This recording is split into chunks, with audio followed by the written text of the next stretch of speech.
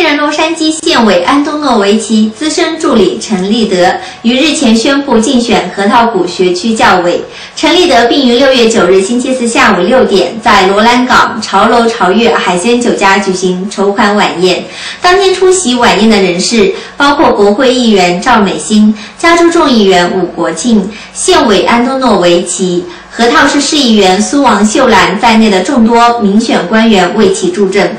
我们来看一下当天的新闻报道。